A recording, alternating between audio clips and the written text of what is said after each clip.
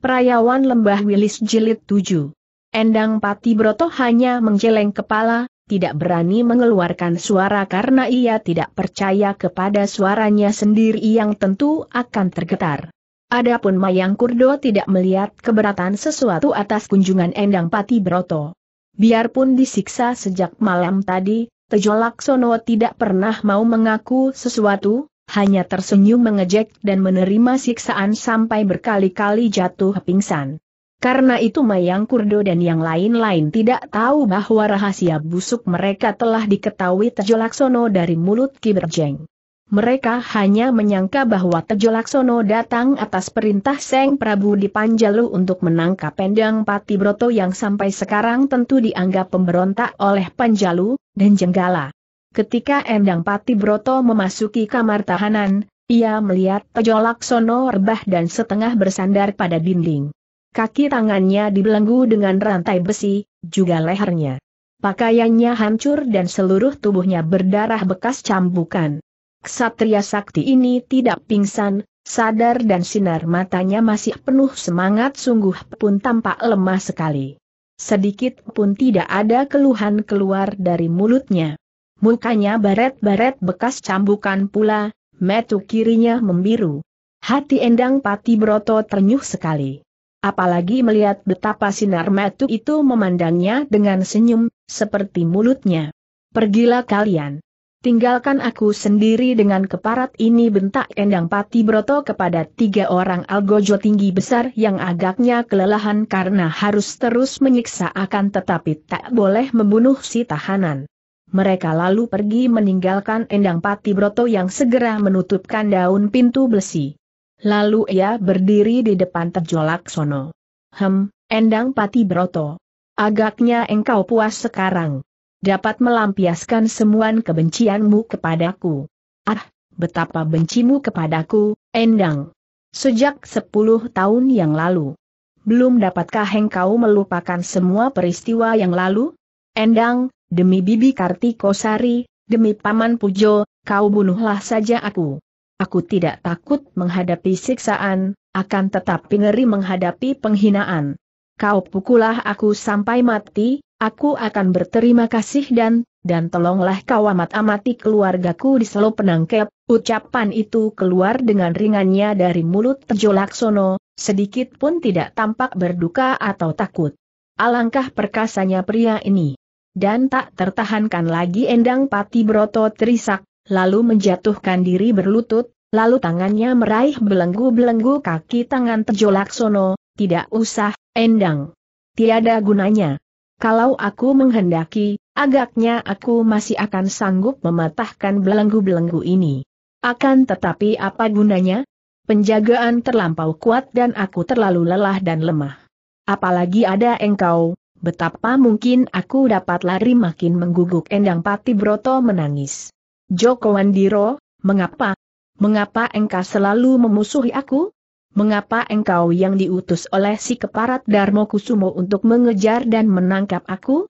Aku sudah, sudah tidak lagi menganggap engkau sebagai musuh, tapi, tapi kau datang ke sini dan... Hus, engkau salah sangka. Inilah yang hendak kuterangkan kepadamu.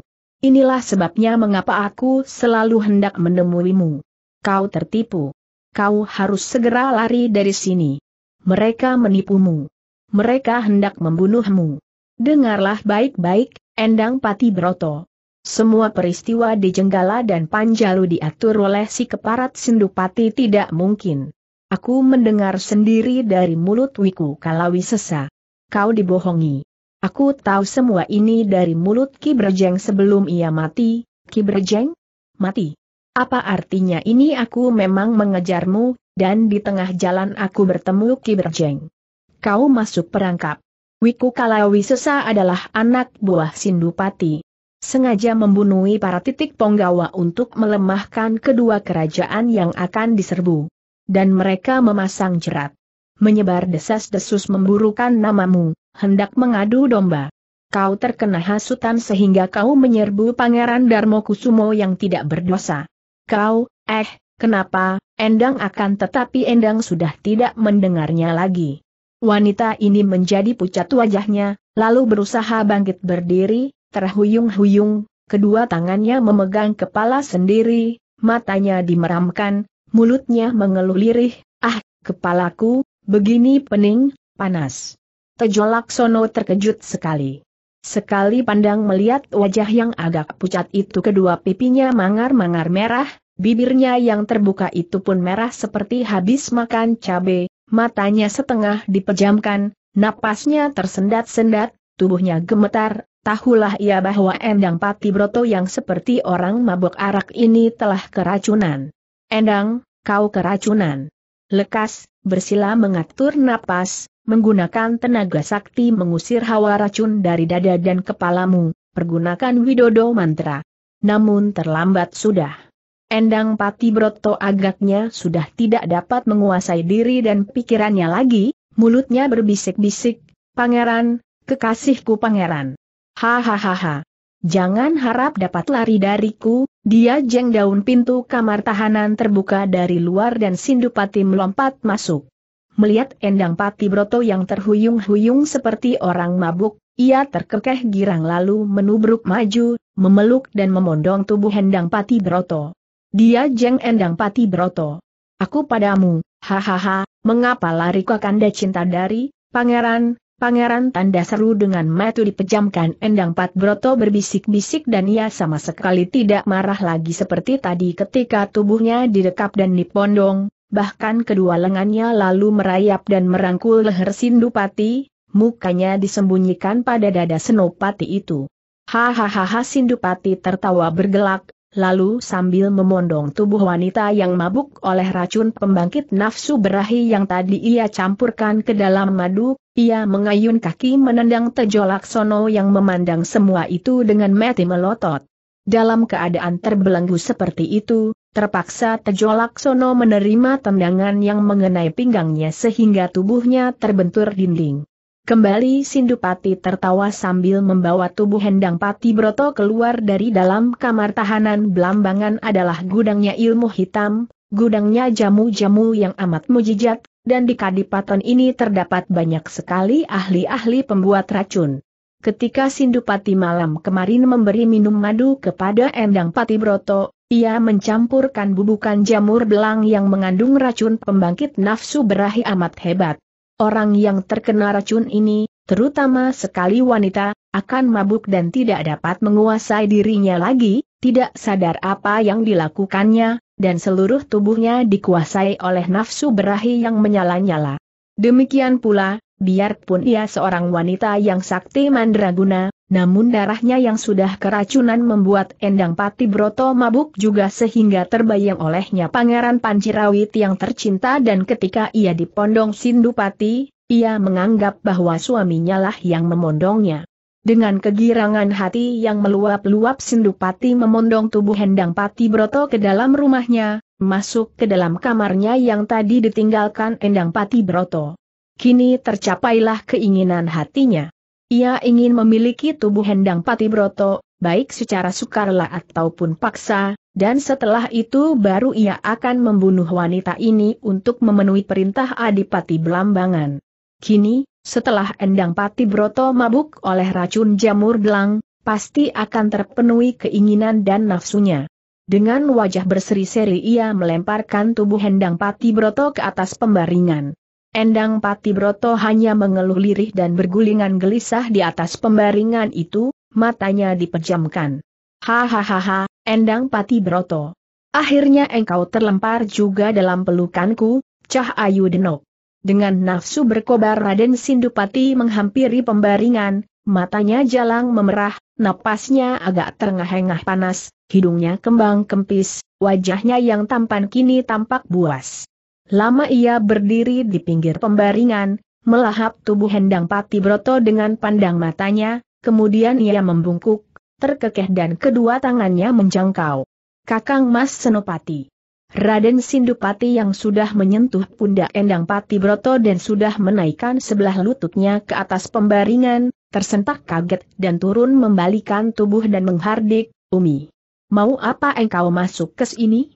Hayo pergi, kalau tidak ingin ku tempiling kau wanita muda bermuka pucat itu memandang dengan mata terbelalak ke arah tubuh Hendang Pati Broto yang bergerak-gerak gelisah DL atas pembaringan.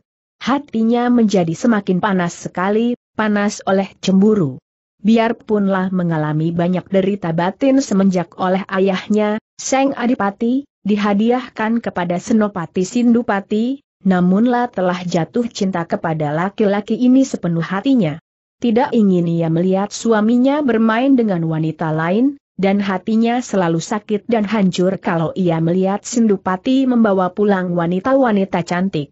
Akan tetapi kali ini ia tidak dapat menahan kemarahannya melihat betapa suaminya itu hendak memiliki seorang wanita dengan care yang amat tidak patut, yaitu dengan paksa dan dengan bantuan jamu racun perangsang. Kakang Mas, jangan, jangan lakukan itu. Marah sekali Sindupati. Ia melangkah maju mendekati selirnya ini, mukanya merah. Apa?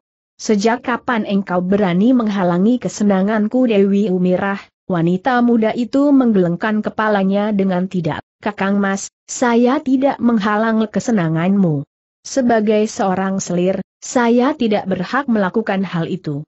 Akan tetapi, saya berkewajiban untuk mengingatkan suami daripada perbuatan jahat dan keji. Memperkosa seorang wanita di luar kehendaknya adalah perbuatan jahat dan keji, Kakang Mas. Ingatlah, dan harap Kakang Mas sadar, jangan lakukan itu. Wanita ini tidak sadar, dia mabuk racun, tidak baik memperkosa. Tutup mulutmu. Ha, engkau wiri hati. Engkau cemburu, setan dengan marah sekali Sindupati mendorong pundak selirnya sehingga tubuh Dewi Umirah terlempar ke belakang, menabrak dinding dan terguling. Namun wanita itu bangun lagi, berlutut dan berkata, saya tidak iri hati, tidak cemburu, kakang mas. Sudah kukubur perasaan itu. Akan tetapi, melihat kau hendak melakukan perkosaan keji, ah, Bagaimana saya dapat melihat suami saya melakukan kekejian ini dan mendiamkannya saja? Ingat Kakang Mas, perbuatan ini akan dikutuk para dewata apa? Keparat engkau. Berani mengumpat tanda seru. Pergi minggat Sindupati menggerakkan kakinya menendang dan tubuh Dewi Umirah terlempar keluar melalui pintu. Sindupati sambil memaki-maki lalu membanting daun pintu kamar dan menguncinya dari dalam. Napasnya terengah-engah saking marahnya dan kemarahan ini telah mengusir gelora nafsu berahinya. Ia jengkel sekali, lalu menyambar sebuah botol berisi arak dari atas meja, menuangkan isinya ke dalam perut. Perut dan dadanya terasa panas kini dan perlahan-lahan nafsunya menggelora lagi. Dilemparkannya botol kosong ke sudut kamar dan ia melangkah maju menghampiri pembaringan di mana Endang Pati Broto masih menggeliat-geliat sambil mengeluh lirih. Sindupati terkekeh, tangannya meraih, merenggut, terdengar suara breot pakaian robek, disusul ketawa terbahak. Ketika Tejo Laksono melihat betapa tubuh Hendang Pati Broto yang ia tahu dalam keadaan setengah sadar karena pengaruh racun itu dipondong oleh Sindupati dan dilarikan keluar tahanan, hatinya penuh kegelisahan dan kemarahan. Tadinya ia sudah hampir berputus asa karena kalau ia memberontak dan dapat membebaskan diri, tidak mungkin ia dapat membebaskan diri, karena di sana, terdapat banyak senopati tangguh D terutama sekali ada Endang Pati Broto. Kini, menyaksikan keadaan Endang Pati Broto yang terancam bahaya lebih mengerikan daripada maut, timbul semangatnya.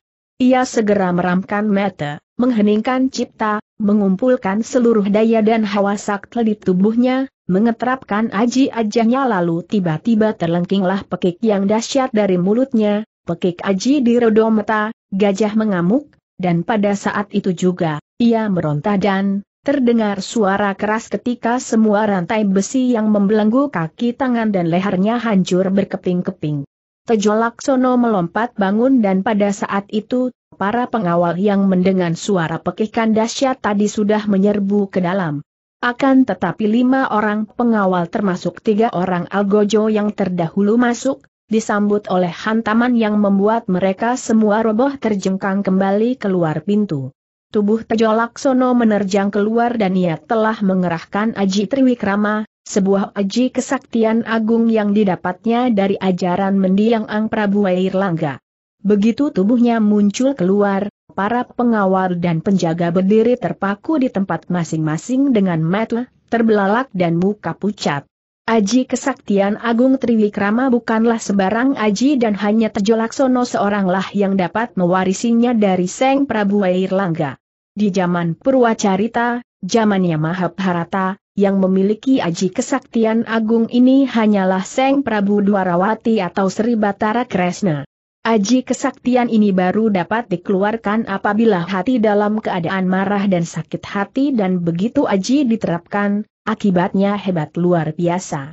Para lawan akan terpesona, akan ngeri ketakutan karena dari tubuh yang beraji Triwikrama ini seakan-akan keluar hawa mujizat yang menakutkan, mengeluarkan perbawa yang menggiriskan, seakan-akan berubah menjadi seorang raksasa sebesar gunung Semeru yang akan menghancurkan segala yang menentangnya. Pihak lawan akan dicekam ketakutan sehingga mereka sampai lupa untuk bergerak menentang musuh. Ketika para pengawal itu berdiri terhenyak pucat ketakutan, Tejo Laksono segera melesat keluar dan dengan kecepatan kilat ia sudah melampaui kepala mereka untuk pergi mengejar Sindupati. Selama beberapa pekan menjadi tukang kuda di Blambangan, waktunya tidak dibuang sia-sia sehingga ia sudah hafal akan keadaan di Blambangan, tahu pula di mana adanya istana Senopati Sindupati. Baru setelah Tejo Laksono lari jauh, para pengawal sadar akan keadaan mereka. Sambil berteriak-teriak mereka mengejar. Beberapa orang pengawal yang berada di depan sempat menghadang dan beiasan orang sudah menyeruduk maju dengan tombak dan golok di tangan. Namun dengan ketangkasan yang luar biasa, terdorong oleh rasa khawatir dan marah mengingat akan nasib pendang Patibroto, Tejo Laksono menggerakkan kaki tangannya. Dua orang roboh mencelat, seorang dapat ia tangkap tengkuknya, ia angkat tubuhnya dan ia putar-putar sedemikian rupa sehingga para pengeroyok cepat mundur dan menahan senjata, takut mengenai tubuh kawan sendiri. Tejo Laksono lalu melempar tubuh orang yang dijadikan perisai tadi ke arah para pengeroyok, kemudian menggunakan kepanikan mereka ia meloncat lagi terus melanjutkan pengejarannya. Makin banyak kini prajurit-prajurit mengejarnya dari belakang, namun tak seorang pun dapat menandingi kecepatan gerak tubuh Tejo Laksono yang melesat ke depan seperti burung terbang cepatnya empat orang pengawal menyambutnya di depan pintu rumah Raden Sindupati, akan tetapi dalam dua gebrakan saja Tejo Laksono sudah merobohkan mereka dengan pukulan-pukulan jari tangannya yang mengandung aji petit nogo. Ia terus menyerbu ke dalam. Dewi Umirah terbelalak dan dengan muka pucat wanita ini lari keluar dari rumahnya, terus melarikan diri ke istana ayahnya untuk melaporkan segala peristiwa yang amat menghancurkan hatinya. Tejo Laksono tidak mengenal dan tidak memperdulikan Dewi Umirah, bahuk tidak mengganggu para pelayan yang mendeprok dan menggigil di atas lantai terus lari ke dalam. Ia tahu di mana adanya kamar Senopati Raden Sindupa karena ia pernah menyelidiki rumah di waktu malam. Daun pintu kamar itu tertutup danlah mendengar suara ketawa bergelak di sebelah dalam. Tejo Laksono mengerahkan tenaga sakti di dalam tubuhnya lalu menggempur daur pintu dengan bahunya. Beraaki daun pintu jebol dan pecah, tubuhnya menerjang ke dalam kamar. Metu, Tejo Laksono menjadi merah saking marahnya ketika ia melihat Sindupati duduk di pinggir pembaringan, dengan tubuh Endang Pati Broto rebah atas pembaringan. Pakaian Endang Pati Broto terobek dari atas ke bawah, sedangkan Senopati itu sambil tertawa-tawa sedang membuka bajunya. Ketik Sindupati mendengar suara keras pecahnya daun pintu, ia menoleh dan matanya terbelalak melihat bahwa yang muncul adalah Tejo Laksono yang baru saja tadi ia tendang ketika ia melarikan Endang Pati Brotola kaget bukan main, juga terheran-heran, akan tetapi secepat kilat ia meloncat, menyambar tombaknya di sudut kamar kemudian langsung menerjang Tejo Laksono dengan tusukan tombak pusakanya. Sindupati keparat engkau Tejo Laksono memaki, miringkan tubuh sehingga tombak itu menyeleweng dekat lambungnya. Tangan kiri menyambar menangkap tombak, ditarik dengan gentakan keras sehingga tubuh lawan ikut mendekat, tangan kiri dengan jari-jari terbuka menampar dengan aji petit nogo. Beres tubuh Sindupati terlempar dibarengi jeritnya dan terus menubruk jeruji jendela yang menjadi patah-patah, tidak tahan menerima hantaman tubuh yang sakti itu, dan tubuh Sindupati terus terlempar keluar kamar, dan terbanting jatuh bergulingan. Pingsan. Pukulan tadi amat kerasnya, dilakukan dalam keadaan amarah meluap-luap oleh Tejolak Sono. Kalau orang lain tentu akan tancur remuk tulang-tulang iganya. Akan tetapi karena Sindupati bukan orang biasa, kekebalannya menyelamatkan nyawa dan ia hanya terlempar dan terbanting pingsan seperti orang diseruduk gajah. Endang Tejolaksono melompat mendekati pembaringan. Hatinya lega melihat dan mendapat kenyataan bahwa kedatangannya belum terlambat. Untung sekali beberapa menit lagi saja terlambat tentu, ah, ngeri ia membayangkan. Endang Pati Broto menoeh, akan tetapi matanya setengah terpejam, bibirnya terbuka dan agak terengah sambil tersenyum, berbisik-bisik tak menentu. Ketika Tejolaksono meraba dahi, terasa amat panas. Cepat ia menyambar tubuh Hendang Pati Broto yang panas dan lemas RTU setelah merapikan kembali pakaian yang hampir telanjang, memanggulnya menelungkup di atas pundak kiri, merangkul kedua pahanya dengan lengan kiri kemudian ia cepat membalikan tubuh karena mendengar gerakan orang-orang di pintu. Joko Wandiro. Lebih baik kau menyerah, percuma saja kau melawan. Tempat ini telah terkepung ribuan orang prajurit. Kalau melawan, akan hancur tubuh kalian di bawah senjata Kamil kata Kipatih Kalanarmodo yang mengepalai sendiri pengejaran terhadap tawanan yang lolos ini. Di sampingnya tampak Mayang Kurdo, Kelabang Koro dan Kewang Muko serta senopati lainnya, senjata di tangan. Hayo, orang-orang belambangan. Dengarlah. Inilah aku Adipati Tejo Laksono, seorang penggawa kerajaan Panjalu yang pantang menyerah. Jangan harap akan dapat menangkap kami berdua sebelum pecah dadaku. Minggir tiba-tiba Tejo Laksono menerjang maju, tangan kanannya menyambar ke depan karena Ksatria Sakti ini telah mempergunakan Aji Bojrodahono untuk membuka jalan. Ki Patih Kalanardomo dan Mayang Kurdo adalah dua orang tokoh sakti di Blambangan, dan mereka sudah mengerahkan kekebalan untuk menahan pukulan jarak jauh ini, namun tetap saja mereka terdorong roboh ke belakang, terjengkang dan menabrak Labang Koro dan Kelabang Muko. Ributlah keadaan di pintu itu dan Tejo Laksono mempergunakan kesempatan ini untuk melesat keluar melalui lubang jendela di mana tadi tubuh Sindupati terlempar. Di luar jendela, tampak Sindupati yang hanya mengenakan sebuah celana hitam sampai ke lutut, berdiri dan mencak-mencak sambil berteriak-teriak, tangkap. Tangkap akan tetapi dia sendiri lari mundur saking gentar menghadapi Tejo Laksono. Ksatria ini tidak memperdulikannya, terus saja melesat ke depan lari keluar dari pintu samping. Namun di sini ia tertahan pula oleh barisan pengawal yang sudah menghujankan tombak dan gobok ke arah tubuhnya. Tejo Laksono menangkis dan merampas sebatang golok. Diputarnya gobok ini dan terdengarlah angin bersyutan, goloknya berdering aneh dan yang tampak hanya segulung sinar putih yang menyelimuti tubuhnya dan tubuh Hendang Pati Broto terang-terang kering beberapa batang tombak dan golok lawan patah-patah. Mereka mundur dan Tejo Laksono maju terus sambil memutar golok, mainkan ilmu goloknya yang dahulu ia pelajari dari Ki Tejoranu, pertapa perantau ahli golok. Itulah ilmu golok lebah putih yang mengeluarkan suara mengaung seperti suara serombongan lemah mengamuk keluar dari sarang mereka yang terganggu. Senjata-senjata lawan beterbangan, Terdengar jerit kesakitan dan darah munkrat dari lengan yang tertabas putus atau dari pundak yang terluka. Sebentar saja ujung golok di tangan kanan Tejo Laksono telah menjadi merah oleh darah musuh. Ia mengamuk terus sambil bergerak maju sampai akhirnya ia tiba di pekarangan depan di mana musuh lebih banyak lagi mengurungnya. Kini ia dihadapi oleh para senopati yang dipimpin oleh Kipatih Kalanarmodo. Terpaksa Tejo Laksono tidak dapat melarikan diri dan hanya memutar golok untuk melindungi tubuhnya dan tubuh Hendang Pati Broto. Ah, kalau saja Endang tidak menjadi korban racun, mereka berdua tentu akan dapat membuka jalan darah dan menerobos keluar, pikir Tejo Laksono dengan menyesal. dengan adanya Endang Pati Broto di sampingnya, mereka akan dapat mengamuk dan mengatasi pengeroyokan sekian banyaknya lawan. Joko Wandiro. Bisikan lemah di dekat telinganya membuat ia berdebar. Endang Pati Broto telah sadar. Biarpun masih lemas dan lemah, namun jelas sudah ingat dan buktinya dapat mengenalnya.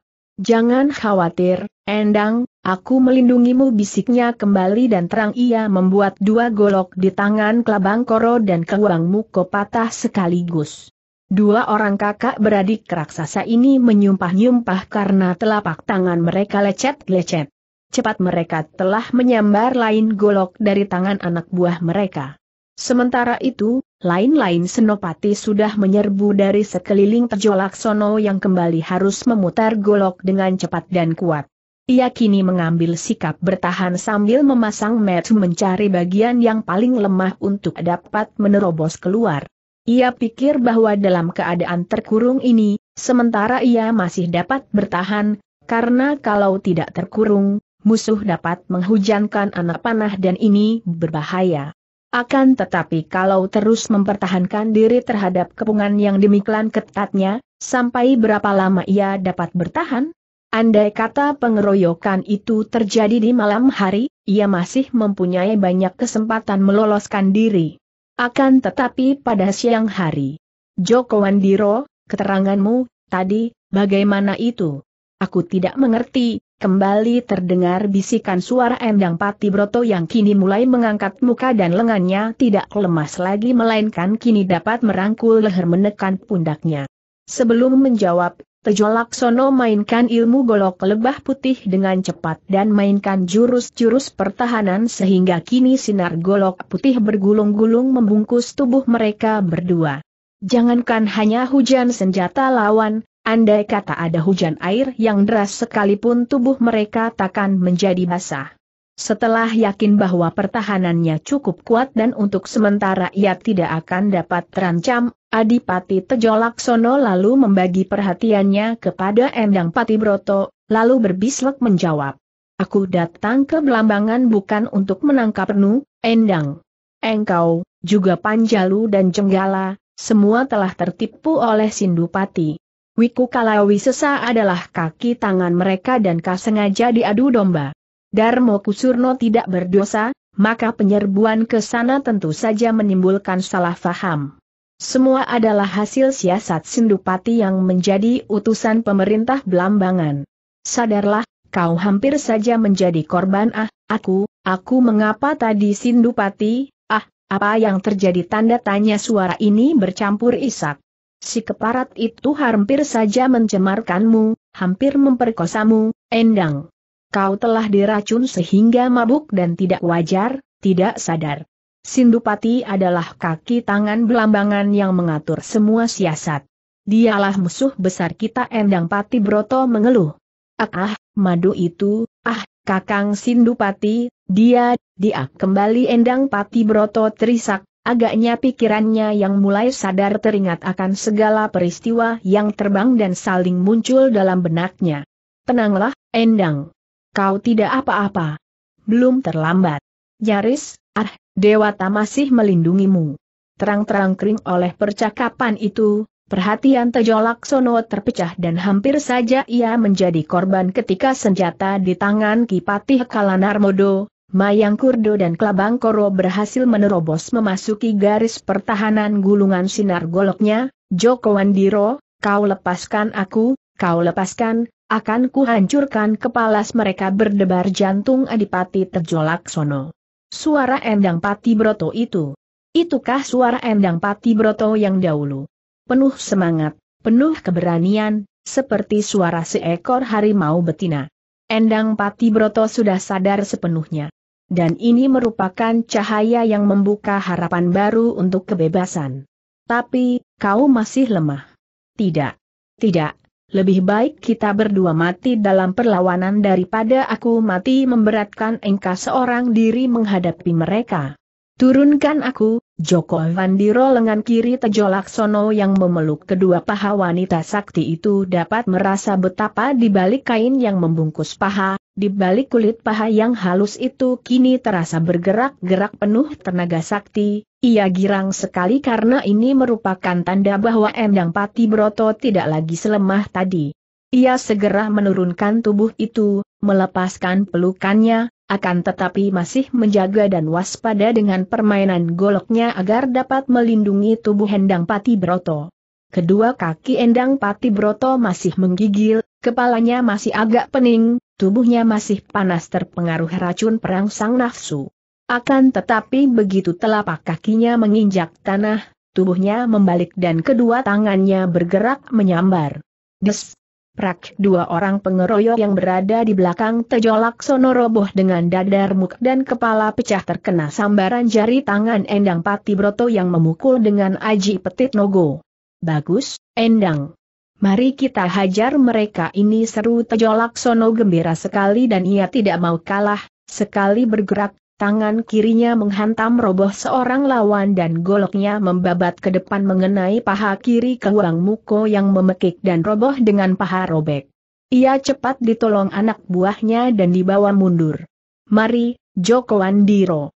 Mari kita basmi orang-orang belambangan kata pula Yandang Pati Broto yang sudah berhasil merobohkan seorang lawan sambil merampas sebatang pedang, lalu mengamuk. Tubuhnya masih lemah, kepalanya masih pening, namun para pengeroyok itu bukanlah tandingan wanita sakti ini. Demikian girangnya hati Tejolak Sono sehingga ia kembali mengeluarkan pekik dahsyat di Rodomoto lalu bersumbar, hayo orang-orang belambangan. Babo-babo. Inilah Hendang Pati Broto dan Joko Wandiro, keturunan orang-orang Mataram. Keroyoklah, kerahkan seluruh prajurit belambangan hebat sekali amukan Tejolak Sono dan Endang Pati Broto. Bertumpuk-tumpuk mayat para pengeroyok, bergelimpangan dan kini kedua orang yang perkasa itu telah keluar dari pekarangan, sampai di jalan-jalan akan tetapi selalu dikeroyok seperti dua ekor jengkerik dikeroyok ribuan semut. Bukan hanya puluhan, ada ratusan orang pengeroyok roboh tewas atau terluka parah. Sudah lima kali tejolak sono berganti golok yang sudah rompal, demikian dengan Endang Pati Broto. Namun, Endang Pati Broto masih belum sehat benar. Pengaruh racun masih amat mengganggunya, membuat darahnya panas bergolak, kepalanya pening, matanya mengantuk. Dan pengeroyok pun amatlah banyaknya, ada ribuan orang banyaknya mulailah kedua orang gagah ini terdesak. Tejolak Sono boleh jadi gagah perkasa, sakti mandraguna, namun ia pun hanya seorang manusia dari darah dan daging. Ia mulai lelah. Joko Wandiro, mari kita melarikan diri, aku, aku, ah, panas sekali tubuhku, pening kepalaku, biarpun berkata demikian, namun seorang pengeroyok yang terlalu dekat terbelah dadanya oleh pedang di tangan wanita sakti ini. Kurungan terlalu rapat, tak mungkin lari, mari kita menyerbu ke istana saja, Endang, Tejolak Sono menubruk maju merobohkan dua orang pengeroyok. Ke, istana ya, kita serbu istana dan tawan adipati, baru ada harapan kita selamat. Hayolah Endang Pati Broto mengerti apa yang dimaksudkan Tejolak Sono. Memang melihat banyaknya pengeroyok, kiranya tak akan mudah meloloskan diri, apalagi karena dia sendiri masih lemah dan mabuk. Dan kalau mereka berhasil menawan Adipati Menaklinggo, mereka dapat memaksa Adipati itu membebaskan mereka. Endang Pati Broto lalu mengerahkan tenaga, menahan kepeningan kepalanya lalu mengamuk di samping terjolak sono. Amukan dua orang sakti ini membuat para pengeroyok terdesak mundur. Kesempatan ini dipergunakan oleh Tejolak Sono untuk menyambar tangan Endang Pati Broto, Diajaknya meloncat tinggi melampaui kepala para pengeroyok naik ke atas atap. Kejar siap barisan panah Tejolaksono dan Endang Pati Broto memutar cepat pedang dan golok rampasan mereka ketika mendengar bersiutnya banyak anak panah menyambar mereka. Anak-anak panah itu runtuh semua ke bawah atap. Akan tetapi para pengeroyok itu sudah mengejar, dan ke mana pun juga dua orang sakti itu melompat dan lari, mereka selalu dikurung dari bawah dan dihujani anak panah. Tejolak Sono dan Endang Pati Broto lari terus sampai tiba di atas atap istana. Hari telah mulai menjadi senja. Setengah hari mereka tadi bertanding menghadapi keroyokan ratusan orang prajurit itu. Mari kita turun kata Tejolak Sono. Mereka meloncat pengawal mengeroyok mereka turun dan kembali para sambil berteriak-teriak. Dua orang ini mengamuk lagi, sambil mencari kesempatan untuk menyerbu ke dalam istana. Tiba-tiba terdengar sambaran anak panah yang banyak sekali. Anak-anak panah ini berbeda dengan yang tadi, menyambarnya dengan kecepatan yang luar biasa tanda bahwa yang melepaskan adalah seorang ahli. Dan melihat banyaknya tentulah banyak orang pula yang melepaskan anak-anak panah itu. Endang Pati Broto dan Tejo Laksono cepat memutar senjata menangkis, dan, terdengar jerit-jerit mengerikan ketika belasan orang prajurit pengeroyok menjadi korban anak-anak panah ini. Akan tetapi anak-anak panah itu meluncur terus sebagai hujan. Endang Pati Broto menjerit lirih. Pahanya terkena anak panah.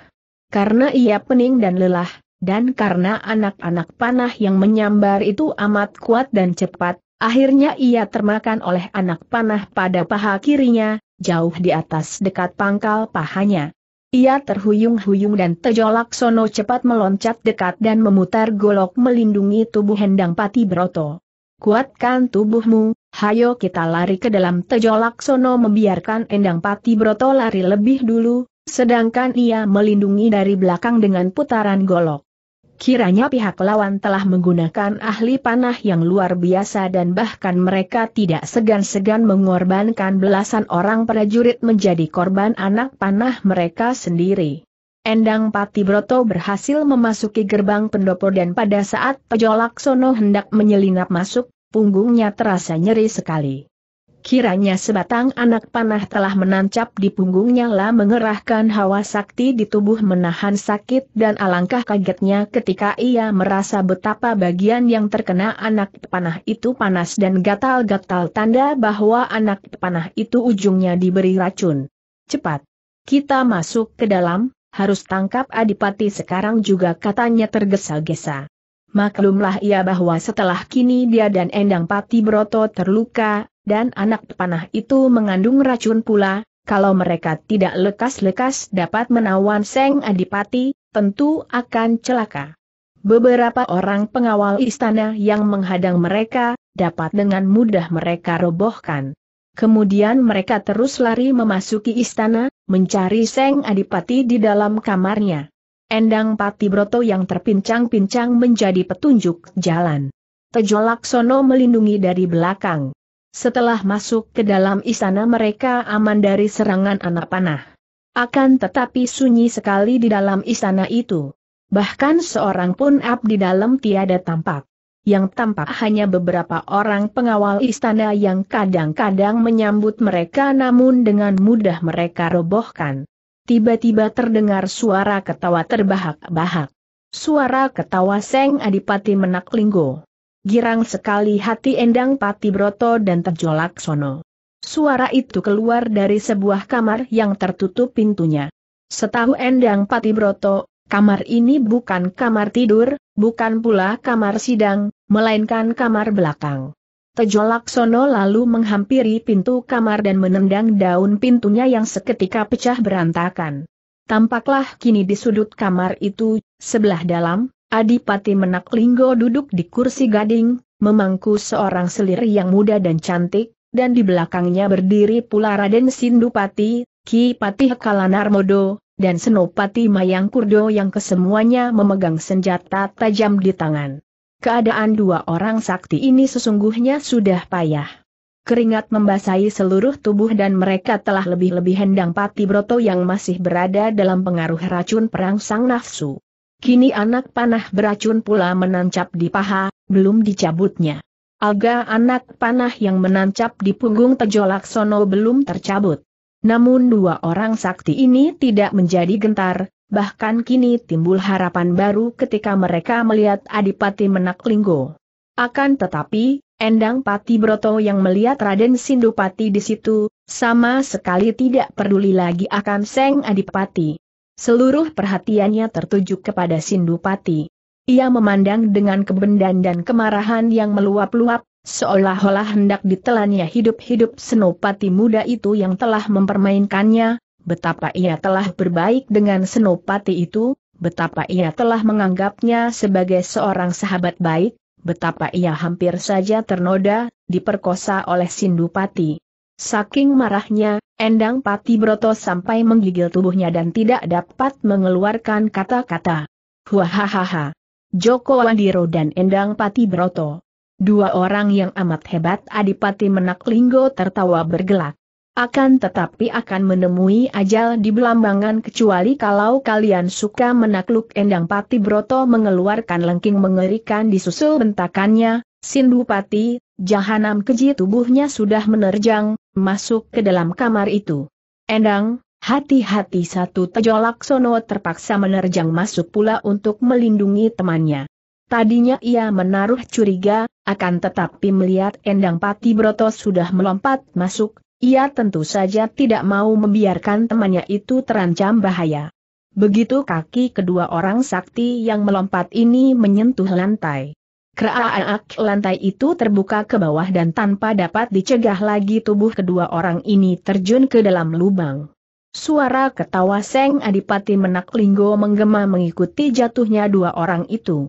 Tejo Laksono cepat meraih tangan Endang Pati Broto dan dengan menggunakan Aji Bayu Sakti, ia dapat menahan luncuran tubuh sehingga ketika kaki mereka tiba di dasar sumur, tidaklah terbanting keras. Ah, keparat, kita tertipu, Joko Vandiro Endang Pati Broto mengeluh. Kau duduklah istirahat, Endang. Pahamu terluka dan kalau aku tidak keliru sangka, tentu anak panah itu beracun, seperti yang menancap di punggungku. Paling perlu kita harus mencegah menjalarnya racun. Bagaimana rasanya memang beracun? Panas dan gatal-gatal, jawab Endang Pati Broto sambil menjatuhkan diri duduk di lantai sumur itu dan bersandar pada dinding. Ternyata sumur ini adalah sumur buatan manusia, dindingnya dari batu yang amat keras, lantainya pun dilapis besi sehingga tidak mungkin mengganti terowongan. Tempatnya cukup luas, segi empat dan tidak kurang dari lima meter panjangnya. Keadaan di situ remang-remang, mendapat sinar dari atas karena setelah mereka termasuk perangkap, lubang sumur di atas itu dibuka terus dan dijaga kuat. Endang Patibroto, dalam keadaan seperti ini, kau maafkan aku, ya?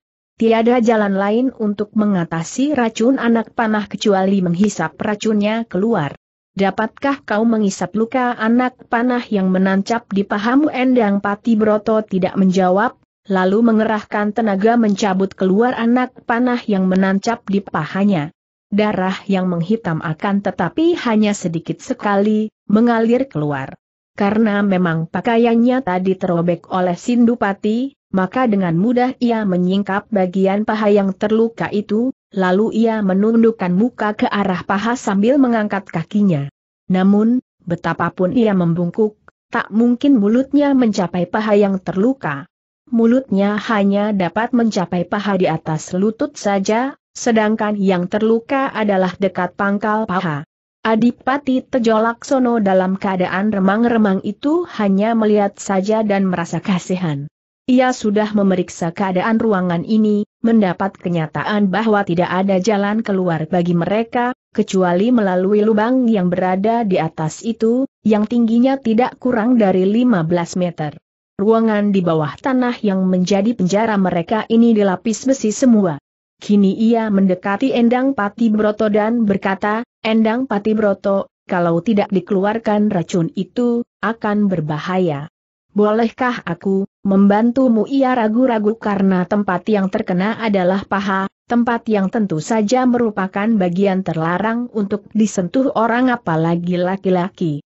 Kesuraman tempat itu menyembunyikan warna merah yang menjalar di seluruh muka Endang Patibroto, sampai telinga dan lehernya. Ia menunduk dan tidak menjawab. Kepalanya masih pening, dadanya panas sekali dan ia diam tak bergerak seperti arca, tidak kuasa menjawab. Tejo Laksono dapat memahami perasaan Endang Patibroto, maka dengan hati-hati ia mendekati, duduk dan berkata perlahan, Sekali lagi maafkan aku, Endang.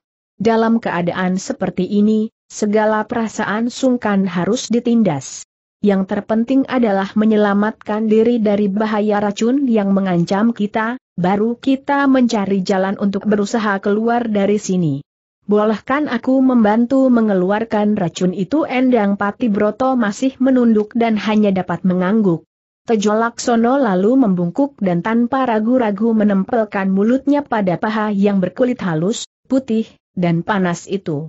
Pendekar sakti ini menggunakan seluruh kekuatan batinnya untuk menutup semua panca indera, terutama sekali menutup perasaannya sehingga yang terasa olehnya hanyalah luka yang harus ia hisap dan keluarkan darahnya yang telah keracunanlah menahan napas dan menggunakan tenaganya menghisap sampai mulutnya penuh dengan darah yang memancar keluar dari lubang luka, untuk kemudian diludahkan dan dihisap lagi. Endang Pati Broto yang tadinya menundukkan muka, kini mengangkat mukanya tengadah, keningnya berkerut-kerut, bibirnya digigit. Hampir ia tidak kuat menahan, bukan karena nyeri, melainkan karena ia merasa tersiksa bukan main. Rangsangan racun pada tubuhnya masih mengamuk hebat, membuat seluruh tubuhnya panas, membuat perasaannya haus akan kemesraan, membuat ia ingin sekali menerima belayan cinta kasih pria. Dan kini, merasa betapa mulut Joko Wandiro menempel di paha, tempat yang amat perasa, betapa mulut yang basah dan panas itu menghisap, hampir saja ia tidak kuat bertahan. Napasnya makin terengah-engah dan ia harus menggenggam dan mencengkeram jari-jari tangannya sendiri agar jangan mencengkeram dan merangkul Joko Wandiro. Hebat bukan main siksaan batin ini dan kedua pipi Endang Pati Broto sampai penuh dengan air mata yang bercucuran dari kedua matanya lah membayangkan wajah suaminya, terus berpegang kepada suaminya, kepada kesetiaannya terhadap suaminya almarhum agar dari situ ia mendapat tambahan tenaga untuk melawan rangsangan nafsu berahi yang memuncak. Akhirnya selesailah siksaan yang dirasakannya amat lama itu. Terdengar suara Joko Wandiro seakan-akan terdengar dari jauh, seperti dalam mimpi, beres sudah, endang. Semua racun telah keluar dan kau boleh sekarang menghimpun tenaga sakti untuk memulihkan tenagamu. Endang Pati Broto membuka mata, menggunakan punggung tangan kiri menghapus air matanya. Terima kasih, Joko Wandiro. Sekarang kau membaliklah, biar aku membersihkan racun di punggungmu, Tejo Laksono mengangguk, lalu membalikan tubuh, duduk bersila membelakangi Endang Pati Broto. Wanita perkasa ini lalu menggunakan tangan mencabut anak panah yang menancap di punggung, membuka baju tejolak sono dan seperti yang dilakukan oleh Adipati ini tadi, ia pun lalu menempelkan mulutnya pada luka bekas anak panah dan menyedot. Tejolak Sono harus mengerahkan tenaga batin untuk melawan perasaan aneh yang menyerang hatinya ketika ia merasa betapa bibir yang lembut dan panas itu menempel punggungnya. Ia pun menderita, akan tetapi tidaklah sehebat penderitaan Endang Pati Broto yang harus pula menahan serangan racun perangsang yang masih menguasai dirinya. Akhirnya selesailah care pengobatan yang sederhana itu. Racun telah keluar semua dari punggung Tejolak Sono dan mereka kini duduk bersila, bersama di dan mengatur pernapasan untuk memulihkan tenaga. Bahaya maut yang mengancam mereka melalui racun anak panah sudah terlewat. Akan tetapi bahaya yang lebih besar lagi terbentang di depan mata. Mereka terkurung dan tidak mungkin dapat keluar dari dalam sumur. Seakan-akan mereka berdua telah terkubur hidup-hidup. Hujani anak panah saja kubur saja mereka dan tutup lubang ini dengan batu-batu besar alirkan saja air sungai ke dalam lubang agar mereka mati tenggelam seperti dua ekor tikus suara-suara ini mereka dengar dari atas sumur dan tampak bayangan-bayangan di atas itu. Mereka berdua hanya dapat menekan batin melawan kengerian, akan tetapi mereka maklum sedalamnya bahwa semua ancaman itu kalau dilaksanakan, akan mengakibatkan mereka tewas di dalam sumur. Tiada bedanya. Apa pun yang mereka akan lakukan, akhirnya mereka akan mati. Hahaha, enak benar kalau mereka dibikin mati begitu saja. Tidak, si wanita iblis endang tidak boleh mati terlalu enak begitu. Biarkan mereka kelaparan sampai mampus di dalam lubang. Hahaha ucapan ini, yang biarpun suaranya berubah terdengar dari dalam lubang itu, dapat mereka duga adalah suara Adipati Menaklinggo. Dengan adanya ucapan itu agak legalah hati Endang Pati Broto dan Tejolak Sono. Ucapan Seng Adipati merupakan keputusan dan hal ini berarti mereka tidak akan mati seketika, masih akan dapat bertahan sampai beberapa hari. Dan selama nyawa masih berada di dalam tubuh, mereka tidak akan putus asa. Setelah bersama di agak lama, pulih kembali tenaga mereka. Juga Endang Pati Broto tidaklah terlalu tersiksa seperti tadi, Sungguh pun pengaruh jamu perangsang itu masih belum meninggalkan tubuhnya. Memang hebat sekali daya rangsang racun jamur belang. Sekali memasuki tubuh lewat makanan atau minuman, racun jamur belang ini akan memasuki darah dan tidak akan punah sebelum si korban terlampiaskan dan terpuaskan nafsunya. Setelah pulih kembali tenaga mereka, mulailah dua orang sakti ini memeriksa keadaan dasar sumur atau ruangan bawah tanah itu. Mereka memeriksa dan meraba-raba akan tetapi ternyata bahwa benar-benar tidak ada jalan keluar melalui bawah. Dinding sebelah kiri adalah batu gunung yang menghitam dan kuat sekali, demikian pula dua dinding yang lain. Adapun dinding di kanan malah dilapis besi, sedikit pun tak dapat digerakkan. Mereka sudah mencoba untuk menghantam dengan telapak tangan mereka sambil mengerahkan aji kesaktian, namun dinding-dinding itu hanya tergetar saja dan sedikit batu remuk, namun dinding tetap tertutup rapat. Mereka sudah pula berusaha meloncat ke atas mengerahkan aji bayu sakti, namun sia-sia. Tak mungkin meloncat keluar dari tempat sedalam itu, apalagi meloncat secara tegak lurus begitu. Habis sudah akal mereka pergunakan, semua tenaga mereka kerahkan, namun sia-sia. Andai kata mereka dapat mencapai atas sumur, tetap saja mereka akan berhadapan dengan penjagaan yang amat ketat, dan sebelum dapat keluar tentu akan dihujani anak panas sehingga terpaksa harus turun kembali. Tejo Laksono menindas perasaannya, bersikap tenang. Ia mengajak Endang Pati Broto duduk bersila di lantai, berhadapan.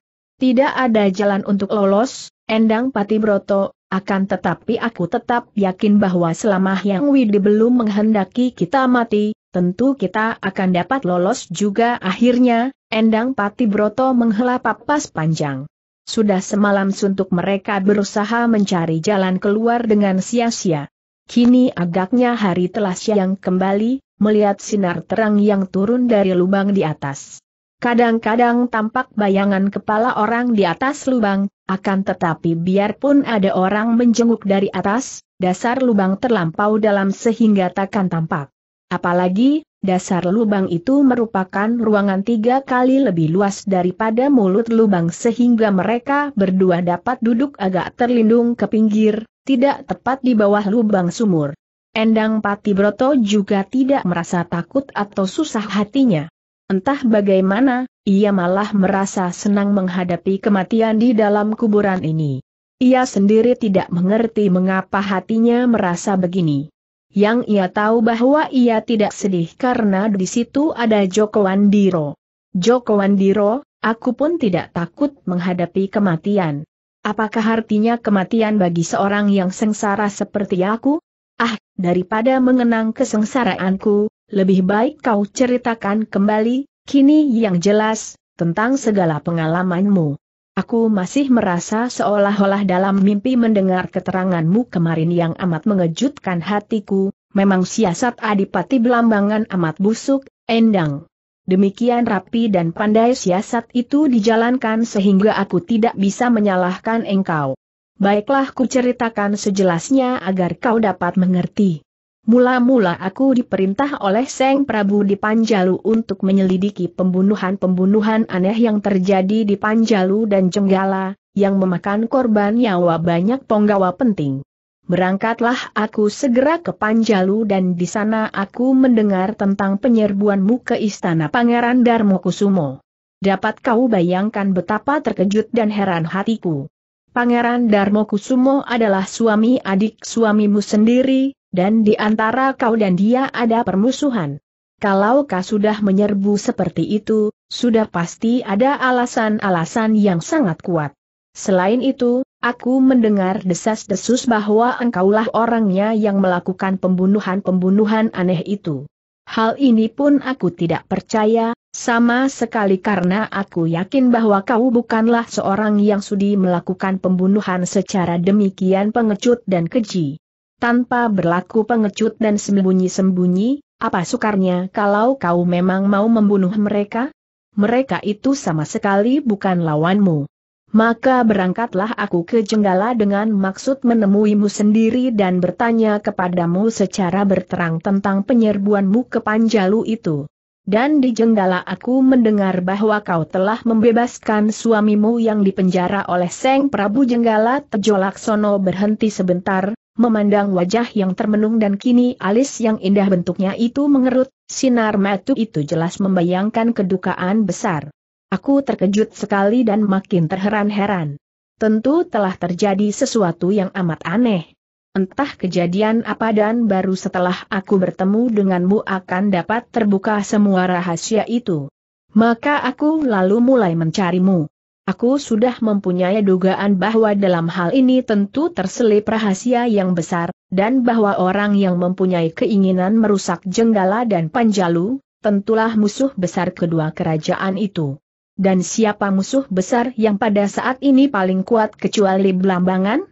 Dengan dasar inilah maka aku segera berangkat ke Belambangan untuk mengusut rahasia itu, Endang Pati Broto menghela napas panjang. Engkau selalu jauh lebih cerdik daripada aku, Joko Wandiro. Aku sudah tertipu dan terbujuk. Tidak, Endang. Bukan karena aku lebih cerdik, melainkan mungkin lebih teliti dan hati-hati. Dan kebetulan sekali di tengah jalan aku bertemu dengan Ki Brajeng yang menceritakan segala macam rahasia itu. Ki Brajeng menjadi penggawa Belambangan dan dipercaya untuk ikut dalam pasukan Sindupati, si keparat Jahanam Sindupati. Ahaha, aku akan mati penasaran sebelum dapat menghancurkan kepala Jahanam keji itu dia memang amat jahat dan cerdik bukan main. Aku telah memukulnya dengan aji petit nogo, akan tetapi ternyata ia belum mati. Selain cerdik, ia juga sakti. Karena kecerdikannya itulah maka dia diserahi pimpinan pasukan untuk mengacau Jenggala dan Panjalu. Dan Sindupati menjalankan siasatnya dengan amat baiknya. Kau tentu ingat akan mendiang Bagawan Kundilomuko penyembah Batari Durgo itu, bukan? Nah, Bagawan Kundilomuko adalah paman dari Adipati Menaklinggo, maka Adipati Belambangan mendendam kepadamu dan berpesan kepada Sindupati agar mencelakaimu atau sedapat mungkin membunuhmu, mengapa Ki Brajeng tidak menceritakan semua itu kepadaku biarpun tidak bercerita kepadamu karena takut kepada Sindupati, namun diam-diam Ki Brajeng setia kepadamu, Endang. Nanti akan kuceritakan tentang itu. Menurut penuturan Ki Brojeng, Sindupati mempergunakan dukun lepus Seng Wiku Kalawi Sesa untuk membunuh-bunui para penggawa penting kedua kerajaan untuk melemahkan kedua kerajaan itu. Di samping itu, Sindupati menyebar desas-desus untuk menjatuhkan nama baikmu. Setelah kau berhasil memaksa Wiku Kalawi Sesa mengaku, Seng Wiku yang jahat itu makin menjerumuskan engkau dengan mengaku bahwa Darmo Kusumo yang menyuruhnya. Demikianlah, tentu saja pihak Panjalu makin menyangka buruk kepadamu ketika kau menyerbu ke sana. Dan Seng Prabu Jenggala setelah melihat bukti penyerbuanmu itu, tentu saja menjadi marah dan menahan suamimu. Engkau menyerbu penjara, memaksa suamimu bebas, kemudian melarikan diri. Nah, tentu saja kalau aku tidak bertemu dan mendengar cerita Ki Brojeng, aku pun akan menyesalkan semua yang kau lakukan itu. Ki Berjenglah yang membuka semua rahasia itu, kenapa diamati? Menurut Sindupati Silakna, Ki Berjeng melarikan diri karena ingin hidup bebas. Ha, memang Sindupati pandai berdusta. Ki Berjeng melihat betapa engkau hendak dibunuh dengan racun, maka ia yang masih setia kepadamu mencegah perbuatan itu dengan mengganti makananmu yang teracun. Akibatnya, ia disiksa dan dilempar ke dalam jurang dan disangka sudah mati. Siapa kira, Ki Brajeng memiliki daya tahan luar biasa, sampai tiga malam masih belum mati sehingga ketika aku lewat, dia dapat bertemu dan bicara denganku, sepasang mata Endang Pati Broto bersinar-sinar penuh kemarahan dan kebencian. Hem, si keparat Sindupati.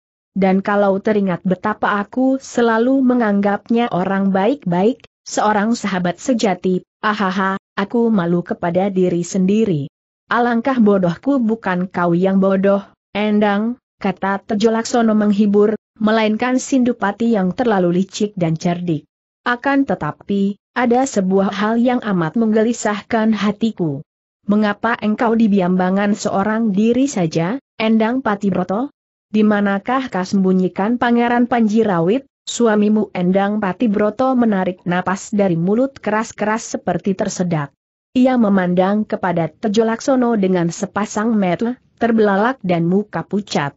Melihat Tejo Laksono mengira bahwa wanita yang keras hati ini kembali kurang percaya kepadanya karena kekurang percayaan itu memancar dari pandang matanya, maka ia cepat menyambung, kurasa, kalau ada Seng Pangeran, beliau tentu tidak akan begitu mudah terbujuk, bersekutu dengan belambangan, Endang. Endang. Kau kenapa tanda tanya Terjolaksono terkejut dan heran sekali karena wanita itu tiba-tiba menangis sesenggukan. Jantungnya berdebar keras penuh kekhawatiran dan prasangka buruk. Aduh, Joko, kau, kau benar-benarkah tidak tahu? Apakah kau tidak mendengar dari Ki Brajeng Tejolaksono menggeleng kepala?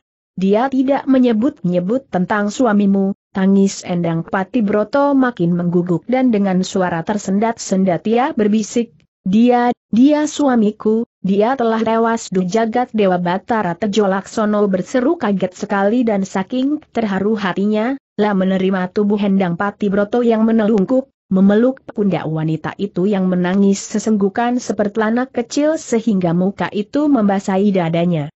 Sampai lama Endang Pati Broto menangis.